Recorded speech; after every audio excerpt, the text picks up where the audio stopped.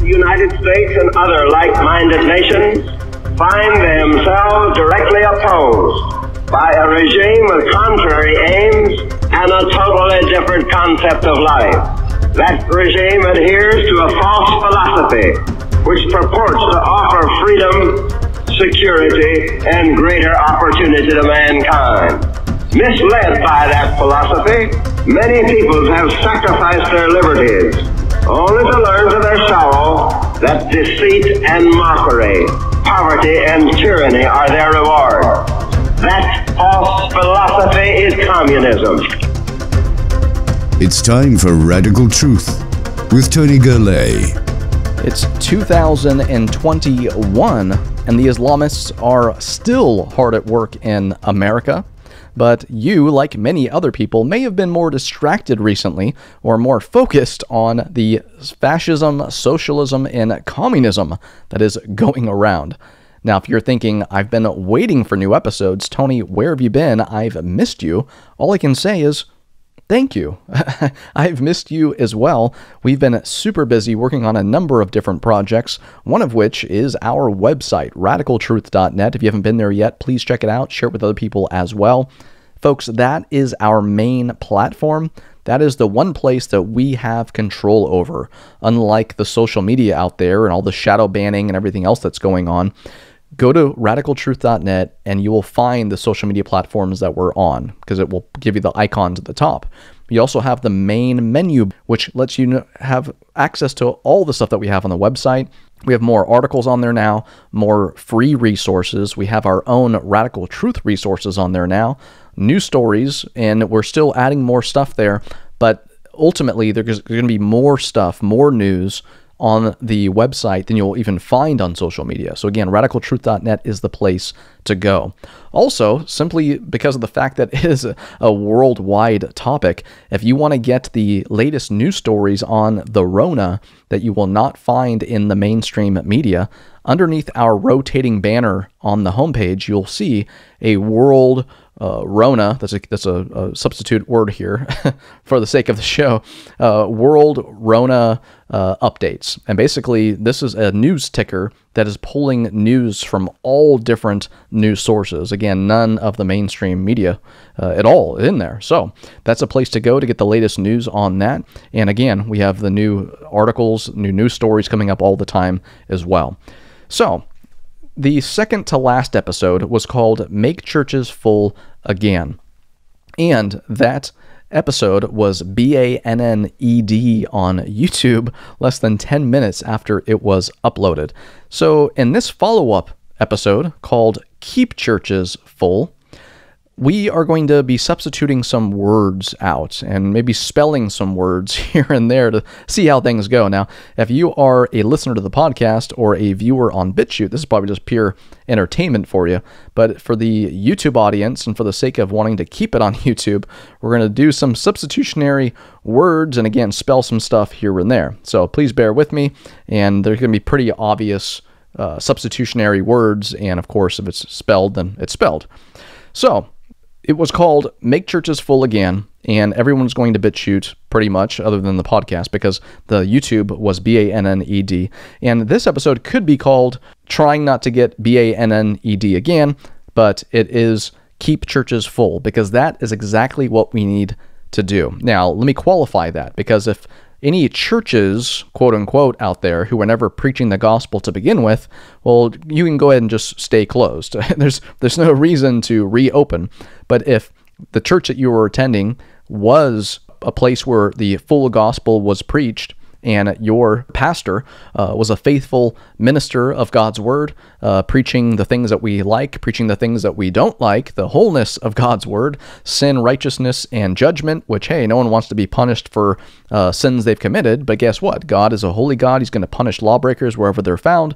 But amazingly, God's grace is amazing, and He is merciful, and He will forgive those who repent and put their trust in Christ because of his sinless life, death, and resurrection, but is not an automatic thing. Just because you believe in Jesus doesn't mean that you are saved. Even demons believe and they tremble. It is have you repented, turned from your sins, and put your trust in Jesus Christ. But, folks, that is the main solution here. It doesn't matter if we're talking about what's happening throughout the world because of the Rona, or we're talking about the lie of the Islamic worldview and Islamic theology, and the goal of Islam being worldwide Sharia, and the creeping Sharia in the West. The gospel is a solution to all of it because the gospel is the only thing that can actually regenerate a heart and renew a mind and actually change a person's worldview to where they hate what they once loved and love what's they, what they once hated. And even if every immoral, sinful thing in the world is completely legal, well, if no one has a desire to do it, it's not going to happen. So the gospel is the ultimate solution because that can actually regenerate a person, unlike the lie of Islam and unlike the lie of all the other man made religions and theological cults out there. So, as I said at the very beginning, the Islamization does continue. And if you didn't hear or read about this news story, did you know that 60 out of 170 Muslims who ran for office this year won their races? Now, some of you will be thinking, yeah, but hey, 110 lost. Folks, you don't just need to look at who won and who lost, but also look at the percentage of what the Muslim received and what the other person, opponent, received what was the difference there? I mean, if the Islamist lost by 1%, well, what's going to keep them from getting 2% more next time and winning the race? Again, it's about getting people educated about the lie of Islam and not just why it's a lie, but why Christianity is true. Because even in countries where it's under Sharia, you have many people leaving Islam because they are hearing the gospel, they are getting Bibles one way or another, and they're realizing that Jesus is true, that the gospel is true, that the Jesus of the Bible is not the Isa of the Quran, and that Islam is a lie. So many people are just going with the flow under Sharia for the sake of not being called an apostate and being punished, but they know it's not true. They know it's not right. I mean, look at all the archaeological evidence that's coming out now proving that Islam is false. But yet, again, it, it hasn't changed the agenda or the goal of the Islamists who are still Muslims, who are still believing the lie of Islam, and still wanting you to believe the lie of Islam as well. So, obviously, this is an ongoing topic until uh, the 1.6 billion Muslims throughout the world have either left Islam and become Christians or have just left Islam because they have realized that it's a lie. But right now, even Islamists throughout the world are having to deal with the Rona and everything that's coming along with that. Here in America, and I know we have a lot of international viewers and a lot of people listening to the podcast, over 40 countries now. Uh, we have people who have downloaded the podcast. So thank you so much and continue to leave positive feedback and download and share them with other people. But here are some of the news stories that uh, really have been no surprise to people who've been really paying attention and looking outside the mainstream media for months now. Okay, and again, we're going to need some substitutionary words here. Number one, this, this article here, an hour after um, the hair sniffer is sworn in, WHO, that's WHO, World Health Organization, admits their testing grossly overstates individuals testing positive for the Rona. That's our substitutionary words there. Here, next, we have right on cue for the hair sniffer WHO admits high cycle PCR tests produce Rona false positives. What a coincidence. Washington, D.C. mayor lifts indoor dining ban two days after the hair sniffer inauguration. We have here surprise Gretchen Whitmer reopens Michigan restaurants now that the hair sniffer has been sworn in. And the numbers are in. Cuomo's draconian lockdowns cost New York 1 million jobs. And yes, the after effects of just the lockdown in general continue to destroy lives. And that's one more reason why we just all need to be educated about what is going on here. Governor Newsom to lift stay at home order less than a week after hair sniffer inauguration. Now, not surprisingly, after, from what I heard, over in California, they have like over 1.2 million people have signed their names or whatever you need to do to recall uh, the governor here. And it seems like the more signatures come in, the more lenient he gets. You know, goes from uh, lockdown to uh, partially reopen to okay, fully reopen. You know, the, the more signatures, the, the more freedom you get back, kind of thing. Uh, at least that's what's happening so far. And here, Carlsbad, California says no more to lockdowns. May it be a national model.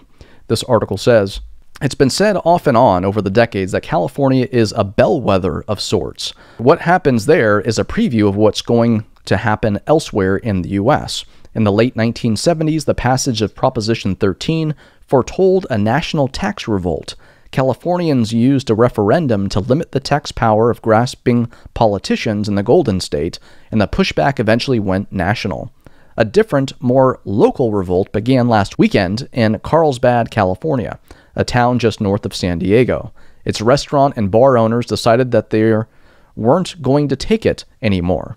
There's no longer going to allow witless politicians to destroy what they've worked so long to build. They're going to open their businesses to eager customers. And of course, that is what needs to happen everywhere. And yes, if it can happen in California, it can happen in any state, in Texas, in Florida, uh, wherever. And of course, we've seen that the lockdowns don't work. The places with the most strict lockdowns seem to have the most deaths, quote unquote, as well. So, over in communist China, we see here, in communist China, a practice, practicing a certain faith, printing or even reading religious books could result in prison terms and abuse. Spiritual believers in China, be it Christians, Buddhists, Uyghur Muslims, or Falun Gong practitioners, are faced not only with brutal suppression or forced labor terms, but also have their religious books burned or, the tra- or trashed at the hands of the Chinese Communist Party. The coercive policies are aimed at forcing these religious followers to renounce their faith and follow the communist ideologies based on atheism and Marxism. No surprise there. A preacher in China said, It is the work of the devil. The situation is becoming increasingly dire. The government, the CCP, is increasing pressure step by step. In the end, they want to eliminate religious belief completely. Now, folks, this is what we see under full communism, and we're seeing creeping communism throughout different places in the world. And as Lenin said, the goal of socialism is communism, and how many people here in the West are pushing for socialism? Now, if socialism is so great, why don't people in the West travel to countries under socialism and get some on video interviews of people who live there, just dying to tell people, no pun intended, uh, telling people in the West how great socialism is? I mean, wouldn't that be an easy sell to anyone you're trying to convince about anything? Get some interviews of people who've already experienced it, who are living under it right now. But guess what? They can't do that because everyone who's come to the West to escape socialism and or communism let you know how bad it is and how you should never let it come to America and how they would never want to go back to where they came from. And of course, people who are living under those things right now are going to tell you, hey, I want to come to America because I want your American freedom that we don't have. Folks, if you don't know what life is like in other countries where you do not have a Constitution and Bill of Rights, you're going to take for granted the Constitution and Bill of Rights. You're not going to protect it as much as you would if you lived under socialism or communism and then for the first time came to a country who had a Constitution and Bill of Rights. After the break, we're going to get more into that and get more of this news roll of things that are happening throughout the world. Radical Truth Media presents Understanding Islam, now available on a 5 DVD set and resource disc. 20 hours of apologetics training covering Introduction to Apologetics to Islam, the Christian and the Great Commission, Islam 101, Basic Beliefs and Practices, Christianity and Islam's Theological Differences, Jihad, and Muhammad. The authority of the Bible versus the Quran. Women under Islam answering objections. Sharing the gospel with Muslims. Do's and don'ts of Muslim evangelism. This is one of the very best so far, especially in the way the material is organized, the relevance, and the clear presentation of the Islamic worldview and mindset. Radical Truth presents Understanding Islam featuring Joe Carey, founder of Radical Truth. For more information, visit www.radicaltruth.net. Want to give your church an introduction to Islam to know why Muslims do what they do? Want to let them know why the God of Islam is not the true God of the Bible? Want to give them some tips on reaching Muslims with the gospel?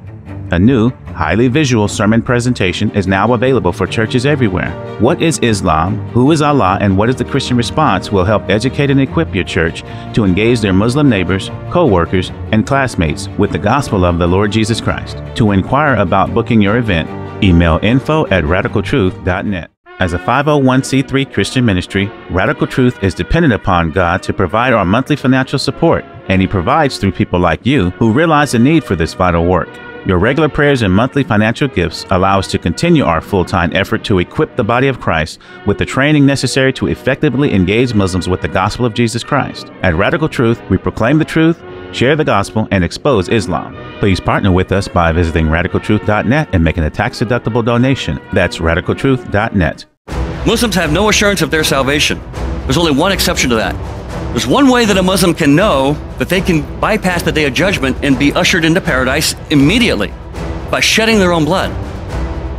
Has your God done anything that measures up to what he required Abraham to do to test his love? You see, if the test of man's love and devotion to God is being willing to sacrifice his only son, then there's only one way, my Muslim friend, that God can demonstrate his love to you. You don't find the answer in the Quran, you find it in the Bible. But God loved us in that while we were still sinners, what? Christ died for us.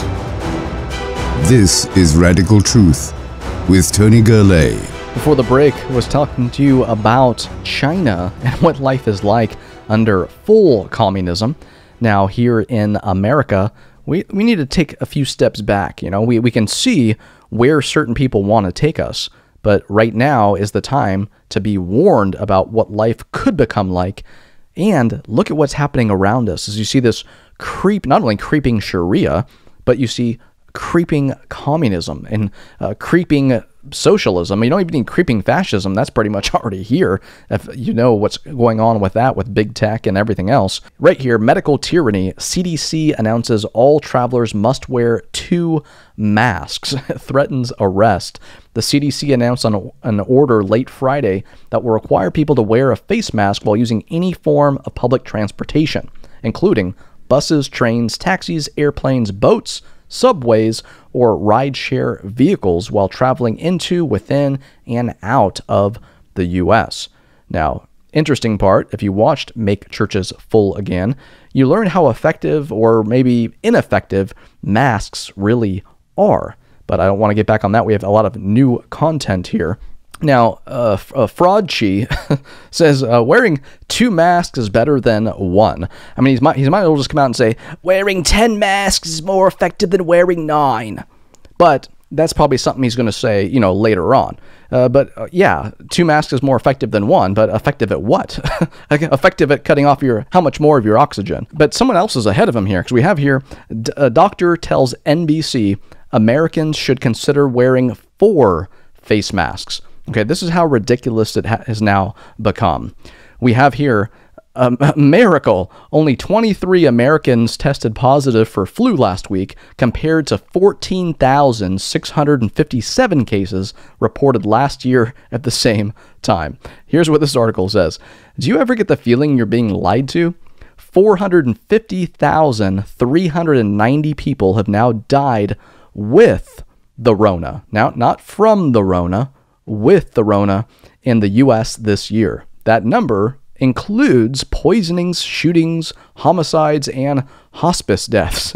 so, uh, obviously, there's a lot more money to be made uh, treating the Rona or dying from or with the Rona than if you die from the flu or with the flu. So, no surprise here. Now, we need to look again, and this is a, a, a map from CNN. Uh, and I, I know someone, believe it or not, who actually thinks that CNN's like the gold standard of news. Okay, the, the only thing this person's missing is, is pretty much a paycheck. Because other than that, they're pretty much uh, unpaid shill for CNN. And even if you look at the CNN numbers here, look at this. We have 25 million cases. We have 421,000 129 deaths. Again, that sounds like a lot, and it's unfortunate if any if anyone dies from any type of illness whatsoever. But folks, let's do some math, and even more math than we did and Make Churches Full Again. If you take 421,129, and that's the deaths, quote unquote, divide it by the 25,297,071 cases, that is 0.0166. Now, if you take 0.0166 and you times that by 100, you get 1.66%. Now, let's just round that up to 1.7. Okay, so that means that with no uh, liquid in your arm, without getting an injection, you have a 98.3% chance of survival, okay, with no liquid in your arm at all.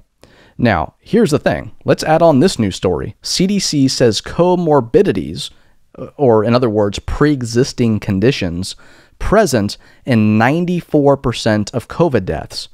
Folks, do you, do you realize what that means? That means that only 6% of the deaths in general are actually from the Rona itself. Now, that needs to be factored in here because guess what happens? when you take the 421,129 deaths and then you subtract 94% of those deaths, of which were people who had pre-existing conditions, that subtracts 395,861.26 deaths. That leaves 25,267.74 deaths. Okay, it was rounded up to 268. 25,268, okay?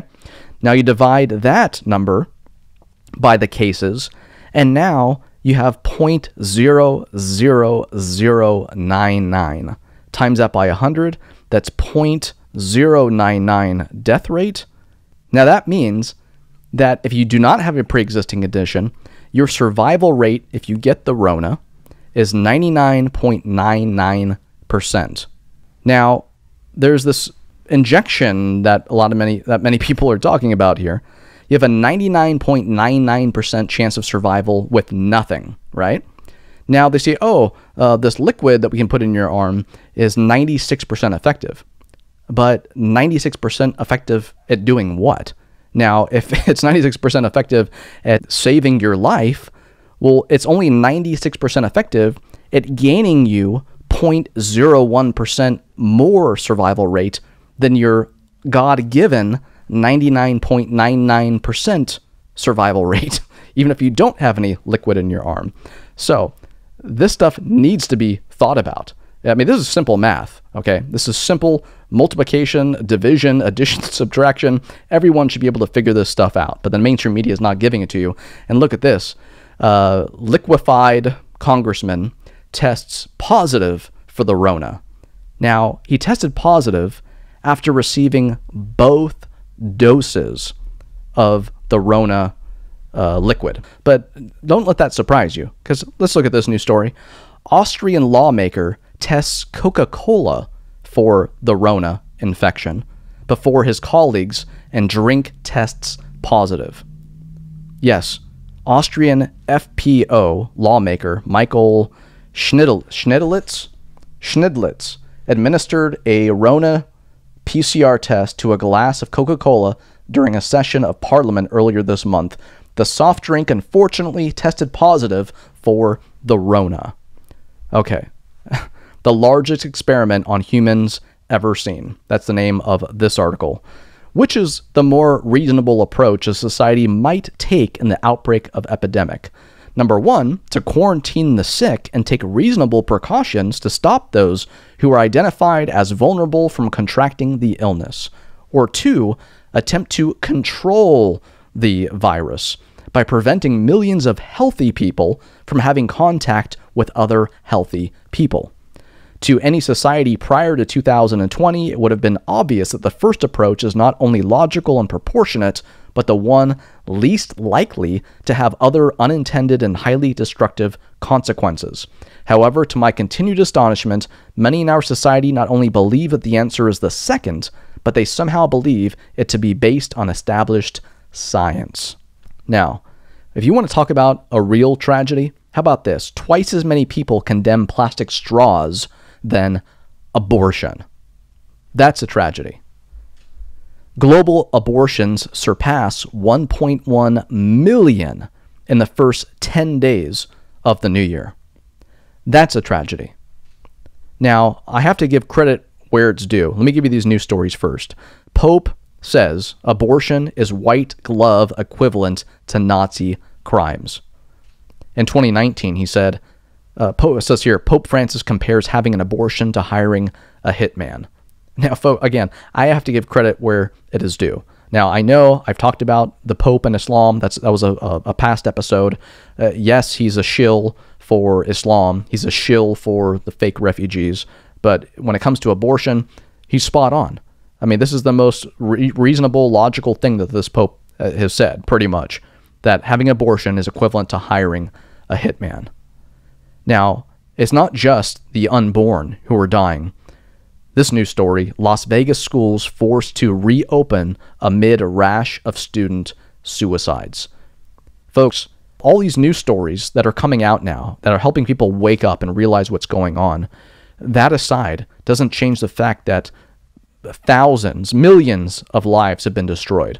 People's who had businesses that they spent their entire life, or adult life at least, uh, forming, creating, building up, got destroyed.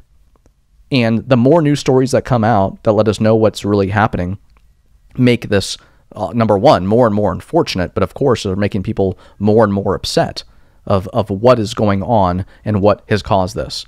Folks, people need hope. And not only do they need hope, but they need to remember that, as it says here in this news story, there is no pandemic exception to the Constitution of the United States or the Free Exercise Clause of the First Amendment. John MacArthur's church never shut down. It's, they have no plan to shut down. They're not going to shut down. Folks, if you don't want to attend church, then watch the live stream. But guess what? If the church is shut down, then not even a live stream is happening. It needs to at least have a live stream, if nothing else. But more importantly, be the church. Be open. If people feel healthy, if they don't want to wear a mask, or if they or if they live in a place where you don't have to wear a mask, let people go to your church who want to go to your church. If people want to stay home, let them stay home. If people want to want to wear a mask, let them wear a mask. But be the church. The churches not only have to be open, they need to be full again. And more so than that, this follow up pleading with you to keep churches full. That's the ultimate solution here. Because, like I said, and make churches full again, the dichotomy of what's happening is, is either this is the worst disease in the history of the world or it's the greatest hoax in the history of the world. And I know many of you hold a belief that falls somewhere in between that dichotomy. But let's just say that it's one or the other. Either way, the gospel needs to be preached. We can't let people die in their sins, even if they have a disease. And at the same time, if it's the greatest hoax, and this is satanic, it's totalitarian, it's dictatorial, and guess what? The more days, weeks, and months go by, you are realizing that more and more. The gospel is the ultimate solution. The gospel is what needs to be shared. Open up your church, let your church be full, and go out and share the gospel with those who need to know and understand it. And we'll talk with you next time and see you next time on Radical Truth.